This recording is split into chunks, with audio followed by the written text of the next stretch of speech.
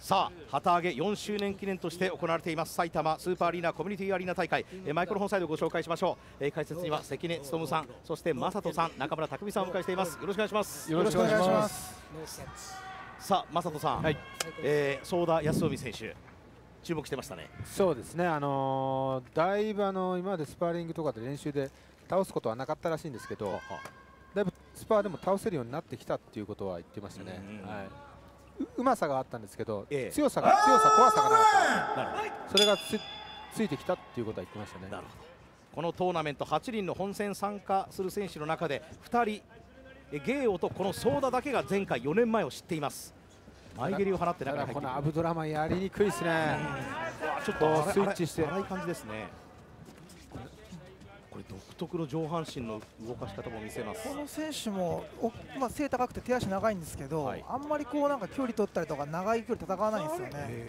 それよりこうどんどんどんどん手数出して最後膝で仕留めるみたいなタイプでちょっとなんていうんですかね想定しづらい相手として。いややりにこういうタイプあんまりいないですからねやりにくいと思いますけどね。ガチャガチャタイプですね。そうですね。ただこれ一発一発は強いわけじゃないんですけど。なるほど体も独特な動き体を振りながらこうカポエラのような動きも見せながら打撃を放ってきます。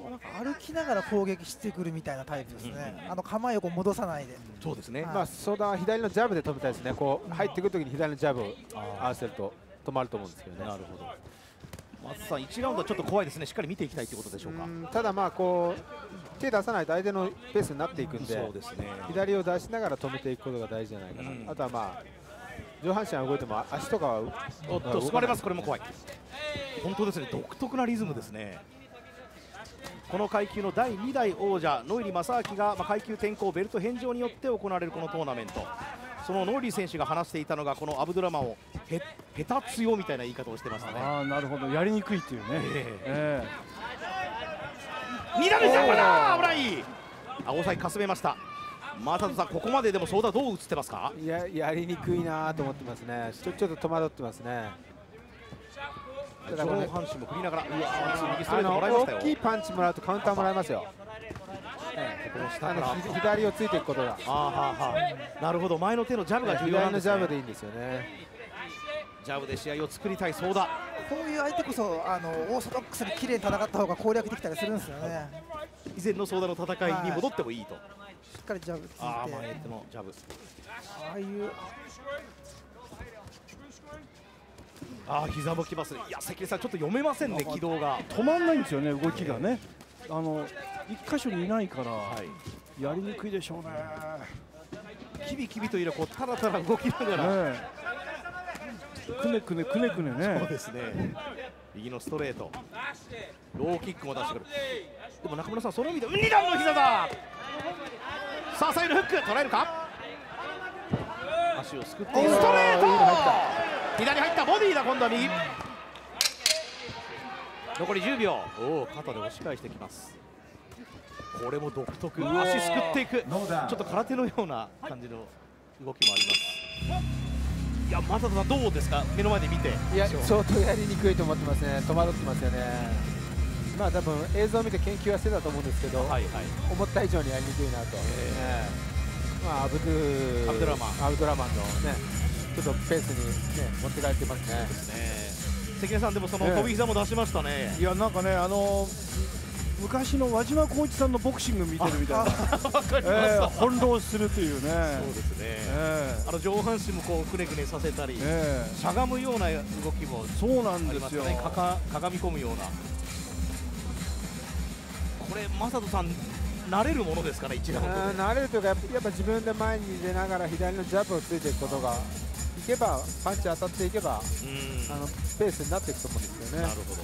あセコンドには塚越選手もついてますね中村さんセコンドさあどんなこうセコンド陣から指示が与えられたでしょうか。相田康臣です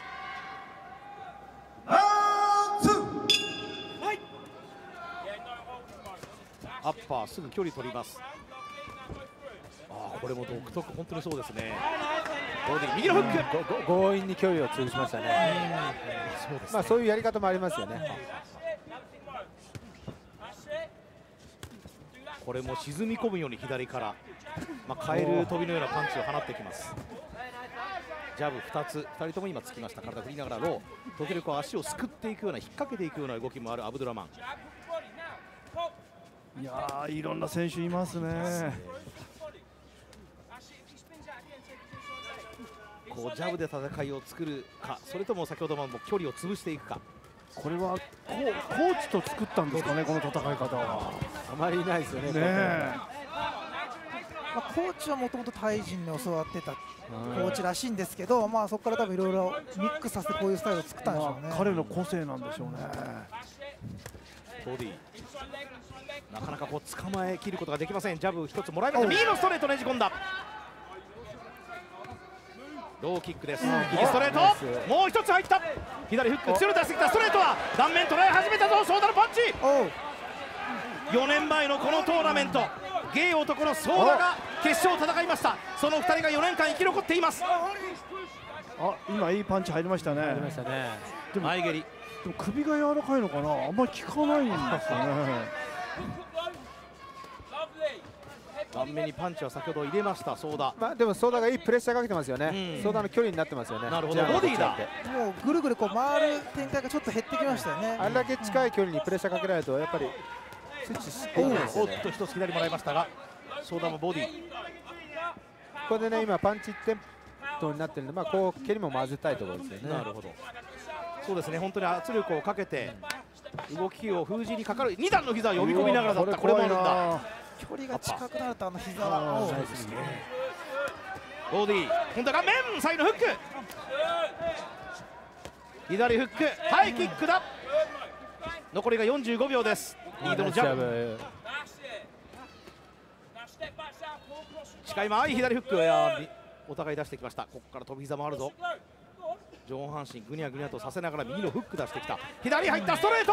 そうだ。ボディボディ2つ。アッパー。右のフックです。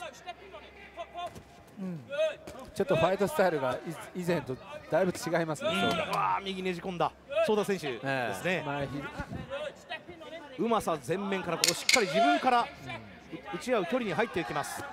右まさとやっぱり4年間っていうのはそれなんですね。そうですね、まあ、テクニックはあるんですけどね。今日はテクニックというより、倒しにいってますよね。そうですね、まあ、自ら変えよう。もがき苦しんだその4年間でもありました。変わろうとした4年間でもありました。そうだ。さあ関根さんどうですか、2ラウンいド目は。やこうあのソーダ選手だいぶ慣れましたよね。えええだけどソーダ選手のいいパンチがねいくつか入ってるんですけどね。あんまり効いた風に見えないですよねと本当につかみどころないですね。そうですね、まあ、山崎選手、塚越選手、第二次代表から今、3人から指示が出てます、具体的なようですね。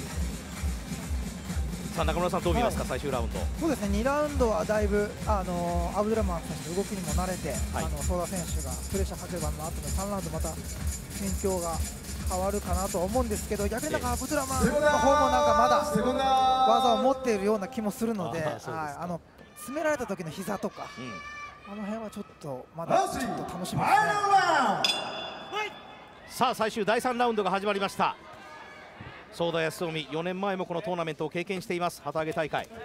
しかしその後もがき苦しんだ4年間でもあります。自ら変えようと。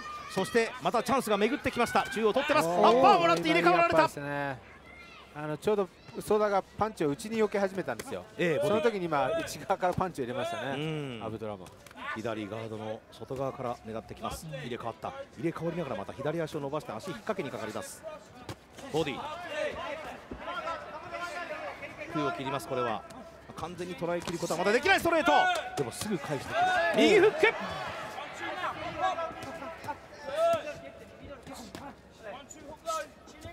アブドゥーマンもこのソーダの前に出てくるのにこいつ、こいつやりにくいなと思ってると思いますよ。逆に。自分の動きができてないですからね、えソーダ選手も膝とかミドルとか蹴ると今度頭下げなくなると思うんですけどね。なるほど。まさに出ましたね。ここはまあ組む組むのは接近してです。左フック。まあでも関根さんもう残り2分切りましたからね。これはちょっとやりにくいですね、完全にこう捉えきるまでいきません。ストレート。右入れた。左。おう。膝を入れた。そうだ。さあ激闘型に変身しました。この4年間で。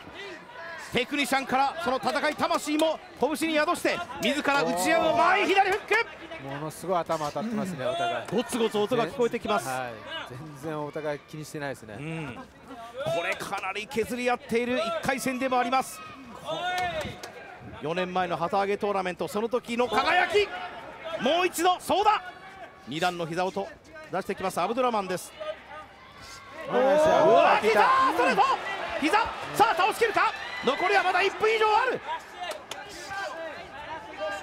そうだ完全復活に向けて苦しんだ4年間。一つ答えを出すのは今日ですそうだ、ちょっと今までになく珍しく KO にこだわってますね。ですね。倒しにいってます倒しに行ねってますね。危険な間合いで戦い続けています。4年前はいなかった相田康臣です。左ジャブ。おちょっと効いてきましたねさすがに。左入りましたよショート。右入ったフック入った。テンプル取られた膝。残りはまだあるぞ。30秒膝。右さあ動き完全に止まったがアブドゥラマンアブドゥラマン出さない攻撃。ちょっと鈍くなりましたね。力ないですね、もう全然。残りは20秒あります。そうだそうだもちょっと疲れたかやはりダッシュで。しかし前に出続けます。4年前のソーダとは明らかに違う。まあ、そうだ、体大きいですからね。残り10秒切ります。アッパー膝しかし倒れない。うわあ危ない。一つもらってしまった。右返してきた。まだあった。まだあった。危ない。まだアブドラマン隠している戦いがありました。スタミナもありました。結果関根さん倒せませんでしたね。いやーまた面白い選手が来ましたね日本に、ね。この選手また見たいですよね。これえー、マサトさんどう見ましたか？えでもこれだけやりにくい選手を、まあ、よくあの2ラウンドから立て直して、ええあの攻略攻略というか、まあ、崩していったと思いますよね。そうですものねすごいやりにくいと思いますからね、この選手。でソーダでも倒しきるかなと思いきやでも、トーナメントなんで、まあ、まあそういうことですええ意外とこう、あれなんですよ、このトーナメント1回戦苦戦していくと、2回戦、3回戦、トントンといくケースがあるんですよね。なるほど。えさあ左の拳を上げたのがもうアブドゥラマンです。南アフリカ。22歳のトーナメント最年少。この超変則。誰とも違う戦いに苦しんだそうだ。さあ果たして苦しんだ4年間の答えが出ま30す対29赤ソーダ1人目そうだ。ジャッジ豊永。29対29ドロ2人目ドロー。ジャッジ山崎。29対29ドローーなんと。判定結果1対0決着つかずです。延長戦に突入します。えきついですね、この 1, ラ1試合目から延長ですね。えしかもかなり打ち合ってのそうですね。ええあの激闘の延長だからちょっと疲れますね。まだ秋の日差しが差し込んでいます。ここ埼玉スーパーアリーナコミュニティアリーナ。なんとソーダ康臣決意のトーナメント1回戦。アブドラマンの前に大苦戦ですあのパンチで前に出出るのはいいんですけどそこから最後あの膝蹴り得意なんで膝までつなげたいですよねパンチから。中村さんどうでしょうか？そうですね。あの僕もマスターさんも言うけど戸田選手がペース取るんだったらパンチだけじゃなくて膝、まあ、蹴りを使ってあのアブドラマンのこう体の動きを止めるところがあの必要だと思いますし、ええ。でもアブドラマン前って下がってても右の一発とかまだあるんではい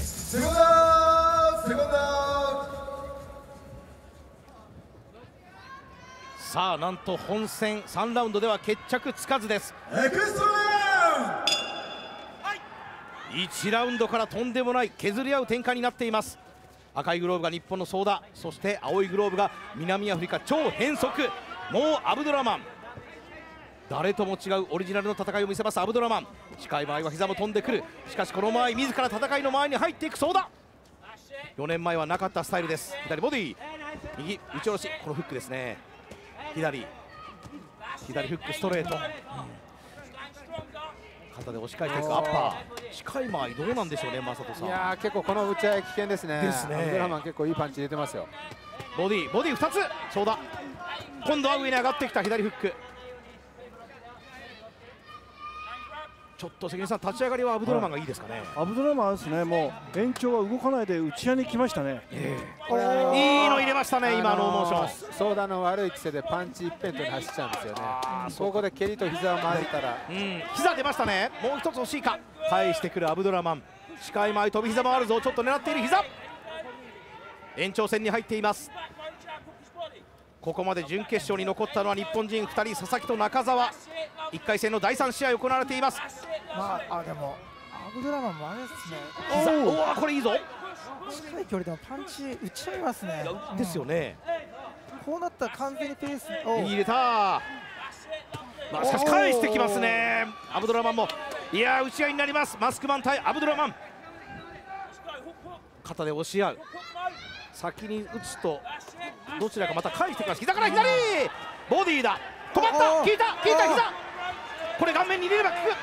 倒して上がるか。うまさではない。倒せるソーダに。この4年間で変わる。レフェリーが止めた。ダウンを取ります。さあ一つダウンを奪った残りが1分以上あります。さあ残り1分です。あと一つダウンを奪えば準決勝に進めるソーダ左入れた。ストレート右ブレイク。です。正人さんどうでしょうか？でも、うん危険な危険な感じもしますけどね。ですね。え3ラウンド目の最後もこういう形もありました。盛り返してくる。えただ意地になってますよね。倒す怖いですねこの打ち合い。本当ですね。しかし前に出ます。手続ける右入れた。もう一つもう一つあと一つのダウンでベスト4進出。左に立ちました。吠えたソーダ康臣。